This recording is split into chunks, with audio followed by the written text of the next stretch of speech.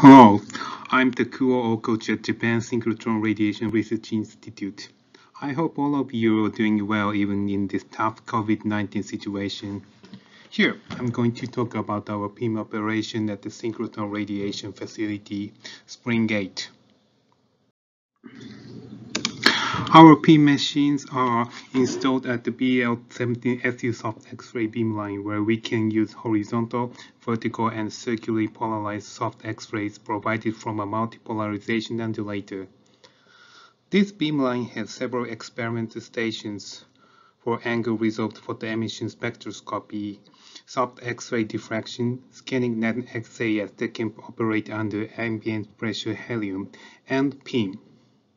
As you know well, when PEEM is combined with synchrotron radiation, you can get information equivalent to XAS because the amount of emitting the photoelectrons are proportional to the absorption coefficient. By using this feature, you can obtain chemical distribution, valence states, and magnetic information elements selectively and with high spatial resolution.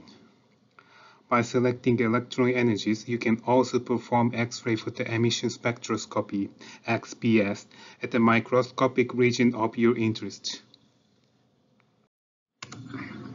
In this beamline, we have two PEEM machines. They are exerting complementary characteristics and doing very good jobs. One is a SPELEEM, whoops, sorry, this is an Elmitec's product, uh, but this is dedicating to static observations with very high resolving power. It having observing a variety of materials brought by many user groups. For example, magnetic materials, semiconductors, graphene and metal heterostructures, mineral particles in the Fukushima nuclear power plant, extraterrestrial materials, and so on. On the other hand, our new machine Focus PEEM, which succeeds the role of the old PEEMSPECTOR machine, though its spatial resolution is not so good as the SPELEEM, it is indispensable to perform high-technique experiments. Thanks to its electric structure, say, high voltage is applied in the objective lens and samples can be handled under ground potential. External speed stimuli such as laser pulses and electric fields are easily applied and thus suitable to do time-resolved measurements.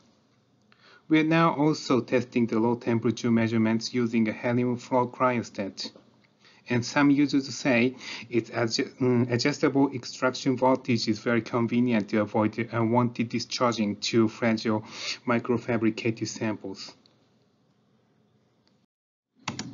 The prominent feature of our focus PEEM machine is a custom-made high-stiffness six-axis manipulator developed with Scienta Omicron and vacuum products in Japan. Sure, I know the special integral sample stage IS stage of Focus Company is very nice tool to perform the in-house experiment using similar sample systems. But in the synchrotron radiation facilities in which different user groups bring many kinds of samples with different shapes, or sometimes you need to attach electrodes or some other accessories, so the manipulator system is necessary and convenient. Because it has very robust body, it doesn't undermine the PEEM's resolving power, and we confirm the spatial resolution better than 14 nanometers uh, when using mercury lamp. Our main research target using the focus PEEM is magnetic dynamics.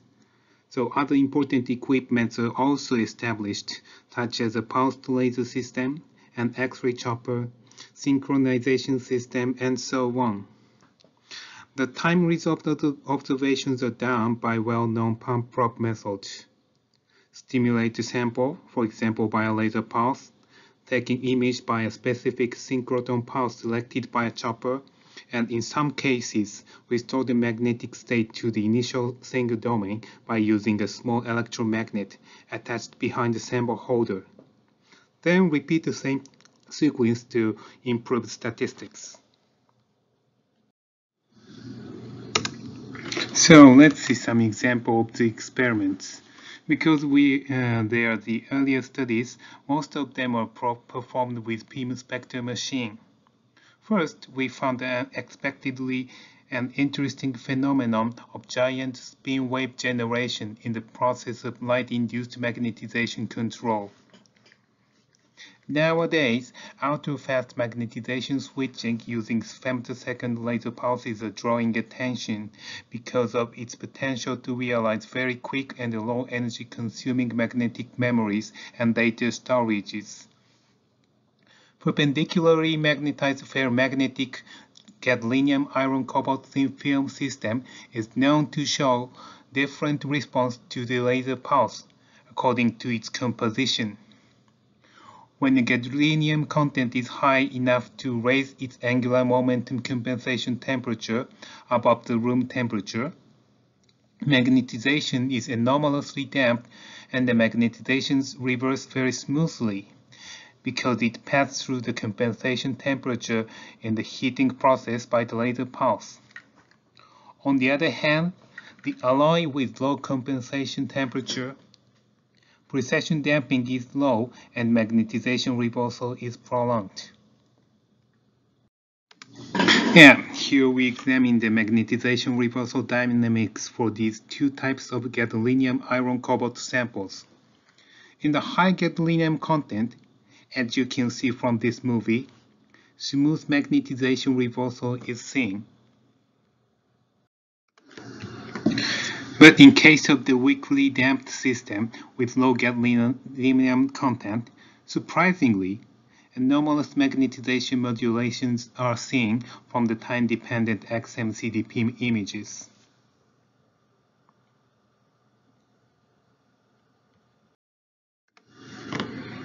By detailed analysis, we found that there are giant spin waves whose precession angle is as large as about 20 degrees, which is about a, an order of magnitude larger than the conventional spin waves.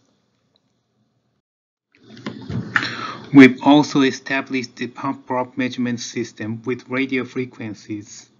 This slide shows a demonstration of resonant gyroscopic motion of a magnetic vortex core in the permalloy disk induced by AC magnetic fields which is in the order of 10 megahertz. So let's see the movie showing the resonant core movement of the magnetic vortex. And we also trying to develop a special sample holder that can introduce gigahertz microwaves and we confirmed the capability to introduce up to 3 or 5 gigahertz using a prototype sample holder. In the future, we would like to launch into element selective and space resolved ferromagnetic resonance measurements, yeah, so-called X-ray FMR.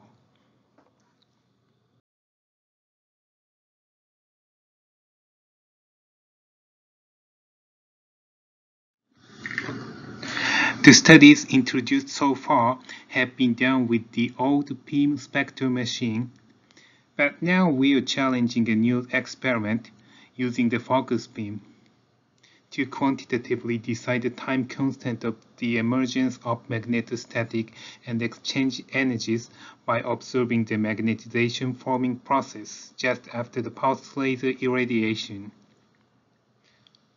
The first successful data were obtained just a few days ago.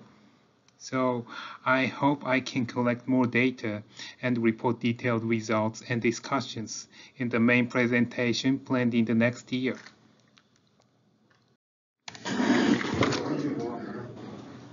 In addition to our original internet experiments, we are also conducting many user groups experiments such as helicity-dependent light-induced magnetization control of ferromagnetic films, laser-induced skyrmion generation and manipulation, low temperature antiferromagnetism in strongly correlated compounds, and domain wall motions of soft magnetic materials and applied magnetic field and so on.